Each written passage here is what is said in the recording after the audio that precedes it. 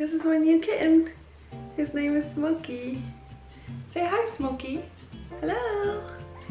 okay, you can go. Hi guys, welcome back to my channel. Today I wanted to address one of the most asked questions I get uh, DMs about it all the time, people comment it, asking questions, and that is if aerospace engineering is difficult. Now, this is not a yes, a simple yes or no question. Um, it is definitely more complicated to answer that question just because I compare it to when people ask you, is it spicy? Is this food spicy? You know, it just depends. It depends on your tolerance. It depends on if you used, if you like spicy food. Uh, my tolerance can be higher than yours or it could be lower. It just depends. There's really no way to answer that question except for them to try the food and then decide for themselves. Uh, I think it's very hard for me to answer that question uh, just because I just don't really know a lot about the person that's asking the question. I feel like if I knew the person, I would be able to answer it. Now, um, I did want to kind of not just leave it as a broad answer, but go into details on what my experience experience was like and what I think personally. Uh, now, although I did find it really difficult, it was extremely challenging. Aerospace engineering is one of the most difficult engineering majors to pursue, uh, close to electrical engineering and computer science. However, I do not believe it's impossible. It was extremely difficult. I had to put a lot of effort into it, but I mean, I did it, right? I even went for a master's in aerospace engineering just because I loved it so much. So it just depends on what you want from aerospace engineering. I understand a lot of us go to school to get a job and make money, but that shouldn't really be your main purpose. Uh, it shouldn't be just because you hear that engineers make a lot of money because sometimes I get a lot of questions too about, oh, should I do mechanical engineering or should I pursue aerospace engineering? I don't know. That's totally up to you. Uh, people say, oh, I heard aerospace engineering, it's hard to find a job, it's very competitive, uh, there aren't that many open positions. And maybe in 2002, 2003 it was, or 2008 when the market crash happened, yeah, that's true. But now, now that the space industry is expanding, there's a lot more private companies like SpaceX, Blue Origin, uh, you definitely have more opportunity than someone 20 years ago did, for sure, certainly. But don't just go into it thinking that, oh, I'm gonna make money, so I gotta go there. Because you would be definitely miserable. There's no way you're gonna enjoy it. If you do something for money, you don't love it, you don't do it just because you're ambitious and you love what you do, of course the money's not gonna matter like in the beginning it's very exciting oh my god i make so much money and that's how it was for me it was like oh yeah now i like make a really really good amount of money for my age but if like if it wasn't for me being um, ambitious about the field i wouldn't really enjoy it at all with that being said although my experience in college was extremely challenging and although i was a very very um, how do I say this? I was a really good student. Like all my life had straight A's. Uh, I was, I loved being a student. I loved going to school. I was that specific, very special person that really loved going to school when everyone else was like, oh my God, I hate it. I was the one who loved math, physics, biology when everyone said they hated math. Like I just love the sciences overall. So I knew that I wanted to be in something that was uh, STEM related. I didn't necessarily know that it was gonna be astronautics specifically when I was growing up. I thought I was gonna be a doctor, but I just quickly in, in high school realized that I was more of a physics person than a biology person. Like although I was really good at biology, to me it was just boring. It wasn't really as interesting as physics was. Um, so yeah, when I moved to the States, I decided to be in aerospace engineering. Now, just because, um, okay, now so I met a lot of people throughout my, my uh, college career, right? And initially a lot of uh, people had a really hard time with classes like Calc 2, Calc 3. A lot of people like had to take it three times, they failed it three times. So for me, it was not the case. I really, really enjoyed Calc 2 and Calc 3. And I also knew that uh, upperclassmen cl classes would be much more complicated, much more um, advanced, and I knew that was not the hardest class I will ever take. And people will tell you that, like you would take Calc 203, and you'd be like, oh my god, what is this? Like this is this is torture. Just remember that you will need that information you take in this, those classes, and you will apply it to actual uh, uh, actual aerospace problems, issues that you will be taking in other classes, like um, more advanced classes like aerodynamics or high-speed aero or spacecraft design, whatever it is. Um, now, what, no, Smokey, sorry, my cat is like messing with my chocolate. Don't do that. Don't do that. Stop. Go away. Okay. Um, what was I saying? It made me lose my track of thought. Yes, so here are some tips that I would give you. Like if you really sit down with yourself and you think deeply with yourself that aerospace engineering is what really really what you want to do. And also you got to keep in mind this is one of those things that i hear about a lot is international students asking me about the job prospects for them in the united states. You have to keep in mind that in the space industry and the majority like 98 percent now i don't know about all companies right? I don't really know about all of their laws and whatever uh, exceptions they have but in every single company that i have um, in, interned at or I have had an interview with, the first thing they ask you is, are you, no, hey, go away, stop. The first thing they ask you, sorry, the first thing they ask you is, are you a US citizen? Um, due to uh, export laws and intellectual property laws, if you want to work in uh, the aerospace industry, you have to be a US citizen. Even if you look at, for example, like Northrop Grumman, stop! Okay, give me one second. I will keep them outside. I'm trying to film a video, Smokey.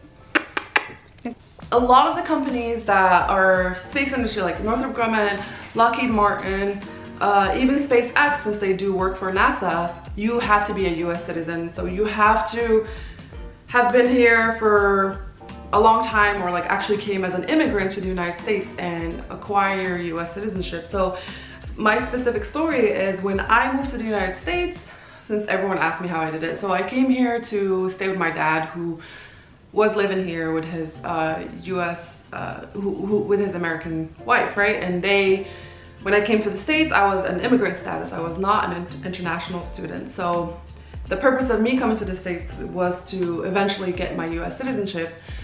And I think that's a story for some other video just because the immigration process here is very complicated and I can't possibly cover it in one video. Anyways, I do have US citizenship. When I moved to the States, I did not have US citizenship. I was a green card holder. So um, I had to have my green card for five years before I can be eligible uh, eligible for applying for citizenship, which that was the process that I took. So when I was still in college, I did not have my US citizenship. So when I would go to certain um, uh, like job fairs, like engineering job fairs, I didn't get callbacks just because they knew that I did not have US citizenship. Now, some companies, if you have a green card, they might hire you because I had an internship with a company that when I did not have US citizenship, but I was only able to work in specific um, projects or programs and others I couldn't really work. So it was very, very limited. Now, when I graduated with my bachelor's, that year I got my US citizenship because that was the five year mark of me being in the United States the whole time. Um, and I was able right away, as soon as I got my citizenship and I went to an engineering fair, like I started getting all of these requests for interviews. So that's how I realized, oh, that's why I wasn't getting callbacks is because I, I was not a US citizen. Anyways, so I'll just get that out of the way. You need to be a US citizen to work in the space industry. Now, um, in once you're in college, these are the things that kind of helped me, you know, made it a little bit easier for me to get through classes. Uh, one of the main ones is take advantage of uh, office hours. So when professors give you a certain homework, every week they do have an hour or two hours, office hours, where you get the chance to go to his office or her office and ask questions about the homework or whatever it is that you're working on. And most of the time when you go to office hours, usually either the TA, the teaching assistant, or the professor would sit down with you and try to explain things that you're you don't understand. So what I used to do is if we have a certain homework and we have a week uh, when it's supposed to be due, I would uh, go to the library and try to solve as many of the problems that I have and kind of uh, mark which areas I'm not really sure how to solve the, the, problem or like if I have certain questions where the lecture wasn't really clear. And so I go through the whole homework almost like I'm gonna finish it. And then once uh, office hours come along, I go to the professor and be like, hey, this is what I have so far and these are the holes that I couldn't fill. Like, would you be able to explain more to me like what I should do or like which, am I, am I in the right track? Am I in the right uh, position? Like how do I get there? And most of the time they would not give you the answer. They won't be like, well, the answer to that is this. They will just guide you into understanding the process for solving a certain problem and eventually get into the answer yourself. And I think that office hours were extremely helpful. I didn't need to go to office hours for all classes. There were some classes where I was fine. I understood the, the book was helpful or I could um, go on YouTube and figure out how to solve it. But um, some of the more advanced classes, it was more difficult to find information on the internet. So I had to kind of talk to the professor and try to get it. And like 98% of the time, they were extremely helpful and it makes more sense to you once you talk to the professor one-on-one. -on -one. uh, now, most of the office hours, a lot of people go to office hours, so it gets a little, you know, tricky trying to get time with the professor, but some professors know how to deal with it where they would sit everyone down and then kind of go through all the questions one by one. Um, another thing that Arizona State University had was a tutor center and the tutor center was ran by students. So the students were the tutors. Like if, let's say, you were in Calc 1 or Calc 2 and I already took Calc 1, Calc 2 and I'm in Calc 3, then I would be able to help you with your homework in Calc 1, Calc 2. So they would hire students that had certain experience in certain classes and they would have to have uh, gotten in that a certain grade, like I think a B plus or an A minus was the, the cutoff uh, for you to become a tutor for that certain class. So initially when I was taking like uh, classes in freshman year, it was much easier because I would go in and then someone had already taken that class. Uh, because that specific tutor center was specifically for math and engineering. So most of the students that were tutors there already are either in engineering or have taken those classes before. They were able to help me a lot of times with questions that I had on MATLAB or uh, whatever other like simple problems with um, classes that were fresh freshmen or sophomore level. But I feel like once I got to junior and senior level, there was not, they weren't as helpful just because the students there didn't, are either still like freshmen themselves and sophomores or just don't really know a lot about the specific class that I'm taking, which was uh, specifically for astronautics, if that makes sense. So as you get uh, higher into your coursework, it might be more difficult to go to the tutor center. So that that's when the office hours become more helpful. Another, uh, I would guess, advice I would give you is, for the love of God, do not wait until the last minute to do your homework. Uh, a lot, a lot of the homework in aerospace engineering, whether that would be, I don't know, aerodynamics would be lab or just lecture, it takes a minimum of 10 to 18 hours to do that specific homework. Like it, would, it might be just look short where you have three problems, but it takes a long, a long, long time to solve those problems. So if you wait until the weekend before it's due, you will not do well just because, you, well, one is the office hours has already passed, so you won't have the chance to go see the professor and, and ask for help. And two, you're already panicking and you're like, oh my God, I have to do this and it's just gonna take so long. Just don't wait until last minute. Start doing the homework right after it's assigned. Uh, so usually professor would be like, hey, homework number five is due next week and it's on Blackboard today.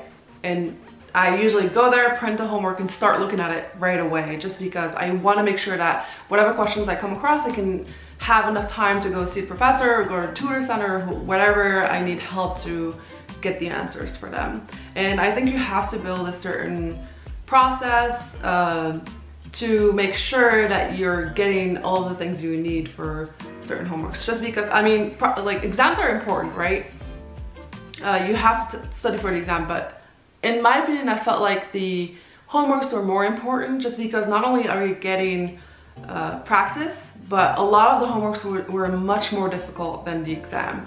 So if you understand a certain homework and you went through it and you, you, you were very confident in the answers that you had and you got a good grade or whatever, there's a very, very high, high chance when later on in the semester when you're taking a certain exam about that specific topic, you will do very well. And that was what I went by is homeworks were much more important to me uh, because also they had they, they took a very large uh, percentage of your grade. Like sometimes 30 35 percent of your grade was from the homework.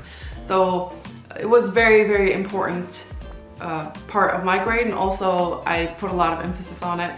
And even when you're studying for a certain exam, you always go back to the homework and actually try to solve it, try to, again, and try to refresh your memory and understand if you know how to solve a certain, you know, problem. So I, I think a lot of these habits you will eventually pick up as you're in, you know, involved when you start taking classes. But I understand in the beginning it was kind of a scary process because you don't, you know, you just finished high school, you don't really understand the extent of the involvement that you have with the professor, like when should you ask questions? Um, the answer to that is all the time. If you're in a classroom and you have a certain question, someone is talking, professor is explaining something and you're like, I don't really understand what he's talking about, or like there's a point that doesn't make sense, always bring it up because that's when I remember the most is when I ask a certain question about something, it sticks in my brain and I'm like, oh, I remember that. That was the answer to that question. So when you see it again, it's more apparent that you know how to, to solve or answer a specific problem. So I think the most important thing or the most important advice I can give you is don't be lazy. don't procrastinate just because, I mean, I'm not gonna lie and say I didn't procrastinate sometimes. I mean, sometimes you do, you just don't really feel like doing anything, but don't make it a habit because you will be very miserable. A lot of people uh, had to drop out very early on. Like we started with a, my class started with I would say 100 and 200 students in aerospace. Um, and when I graduated, astronautics specifically. So if you don't know, the way it's structured is that ASU has aerospace engineering and you have two uh, subdivisions, subsections to it. You have aeronautics, which is about uh, the study of planes, helicopters, so anything that that's flying in the air and you have astronautics, which is all about launch vehicles, satellites, and everything that's in space. So I was the astronautics division, but in the beginning, in freshman year and a half of sophomore year, you're technically taking the same classes. It's not until sophomore year when you start separating and taking separate classes. So in the beginning for aerospace class for me, it started as I would say like 100 and 200 people. And then when I graduated with in astronautics, my class was like 15. So a lot of people dropped off, switched to mechanical engineering or like screw engineering, I'm gonna go do business, whatever it is. And I think a lot of that is um, due to like people's own psyche, like they, you know, say, oh, I can't do it, it's too difficult, or it's because they don't have a good system that works for them. So the most important thing for me was to develop a very effective and efficient system for doing homework, studying, and making sure that I'm understanding what the hell is going on in a certain class uh, because it's very easy for things to just fly over your head and you're just like, wait a second, what, what are you talking about? Uh, especially if you miss a lot of classes. Uh, like in my class, we make we made a joke about if you miss one lecture, it's almost like you missed the whole semester. Because once you come back, you're like, what what the hell? Like this is I've never seen this before. So if you can, make sure you don't miss classes. Make sure you're present in lectures. Make sure you read the textbook or whatever chapter you're gonna work on for, for that specific class. That way you don't come into a class completely clueless. I feel like it really helped me when I uh, reviewed the either the PowerPoint or the book before a certain class because then I kind of have you know an idea about what I'm what to expect and I can ask I can ask questions very easily since I've read the material and I know what he's talking about professor he or she are talking about so yeah I mean the answer the simple answer to is aerospace engineering difficult is it uh, challenging the answer is yes right is it impossible? No, it's not. You just have to put the effort and you will saw, you know, the results. Uh, it will be very draining, emotionally draining, where you have so much to do, not enough time. You, my God, like your labs are gonna suck. Uh, there were times when I have to do a certain lab and then I go into the lab and run the analysis on the wind tunnel and then I would like try to process the information and like write the report, 50 page report.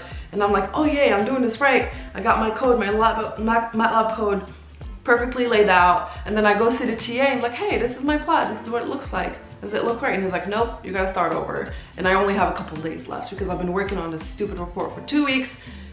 And now they're telling me that it's wrong. Oh my god, just thinking about it is stressing me out. oh, oh my god. It's PTSD right here. Anyways, I, I, don't mean to scare you. Like, once you're on the other side of it, it's all, you think was, it's all worth it. Like, there are times when I actually reminisce on those experiences and I feel like that was the best time for me to learn just because there's so much to learn, so much information, so much, you know, sparkles in your eyes and you're like very ambitious and you want to do this and you're like, yay information, yay. Aerospace, yes. Space, we love it. But uh, it is definitely very difficult. And as I said, if you love what you do, you will be okay, right? Um, just make sure that your your base in mathematics, mathematics, your base in math is very solid. That's the one thing. Like if you're still in high school, I would say it's very, very important that you focus on your math skills because you will be using them a lot. Literally math is the language of engineering. Not English, it's math. Math is what you use in every single class that you ever take. Well, maybe not the, the other classes, like, I don't know, the humanities classes. I'm just saying aerospace related classes. You will be using math in every single one of them. So make sure you sharpen your tools. Make sure you, you, uh, you know, Calc 1, 2, and 3. I don't know how an American high school math program works, but make sure that your math, your base is, is, is covered because after that, I think you will be okay. I think that was all. That was all that I had to share with you guys today. I really, I know it's a long answer to a you know, short, simple question, but I can never say yes or no. Just I don't really know how to answer it without really giving you the long version of it. So I hope it was helpful to you. I hope I answered some or most of the questions that you guys had. And let me know down below what you guys think or what else or what other questions you have that you think my cat is meowing at the door, sorry. what other questions you uh, would want me to answer you think would be helpful in kind of getting you closer to understanding what to expect in college or what to expect as an actual professional. I would love to answer those questions. And yeah, don't forget to subscribe and like this video so that I know you really enjoyed it. All right, thank you so much for watching. I'll see you next time. Bye.